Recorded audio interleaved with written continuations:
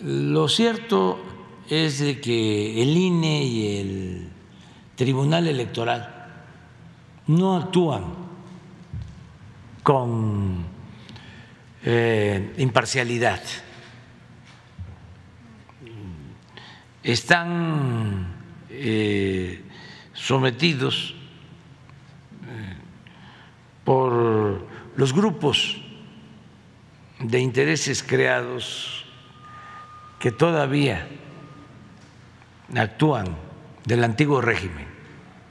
Esa es eh, la verdad. Si nosotros estamos aquí, no es por ellos. Nosotros estamos aquí por el pueblo, por la gente. Entonces, como dicen los abogados, aceptando sin conceder.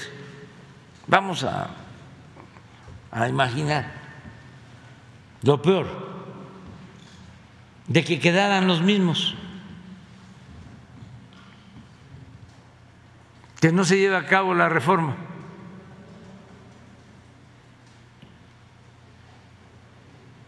¿Qué hacer? Pues seguir haciendo conciencia en el pueblo.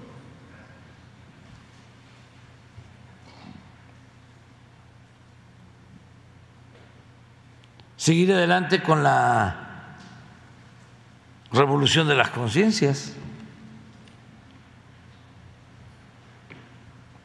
para que